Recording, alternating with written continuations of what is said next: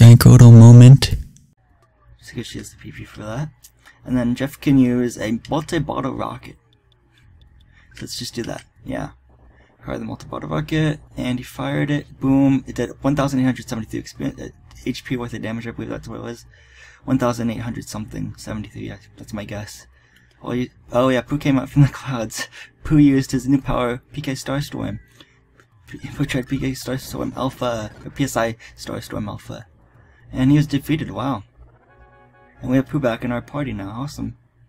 And Nessa and friends gain 31,264 experience each. Then we left the present. Inside the present was like Casey's bat. Ness took it. Paul's in the level 51. Offense went up by 2. Defense went up by 1. Speed went up by 1. Guts went up by 1. Vitality went up by 1. Maximum HP went up by 3. Maximum PP went up by 1. She always the power. Paul realized the power of PSI Shield Beta. Jeff was in level 49. Maximum HP went up by 2. Poo's level was now 46. Uh, oh baby, offense went up by 3. Speed went up by 1. Maximum HP went up by 2. Maximum PP went up by 2. Poo realized the life, the power of life up gamma.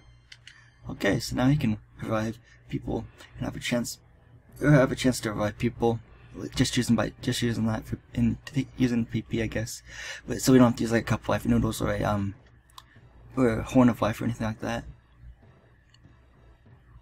I'm just gonna go over here. So yeah, the Casey's bat. I really don't recommend you equip that right now because it misses like 75% of the time, and that's not good. So you don't want to, um, you know, do that yet unless you feel really lucky on like back attacks. But for me, I'm just gonna stick to my um, my minor league bat. I think it is. Oh, big league bat. There we go, big league bat.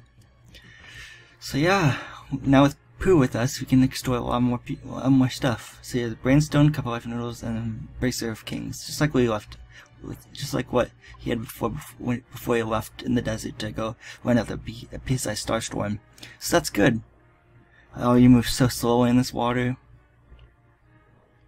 Okay, I'm gonna go over here. Hopefully this is why, you know, the right way I'm supposed to go. I'm hoping it is.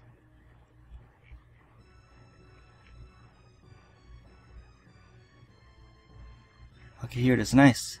No enemies around us. Cool. Haha. Let's go in. This is the end of Deep Darkness, by the way. Let's talk to some of these guys. Um, wish I. he didn't say um, my bad. Wish I. okay. And basically all they're saying is wish I so far. So what will this one say? Wish I. I think if you talk to this one, he'll actually have different dialogue. We're all shy. Rumor I heard Rumor I heard a book to fix shyness. There is. Where? I don't know. Just a rumor. Okay.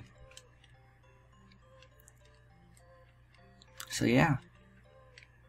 So yeah, we got trash can here. Let's drag around in the trash can. Let's see here. There's a death ray inside. Yeah, let's give that to let's give that to Jeff. I almost said Paula.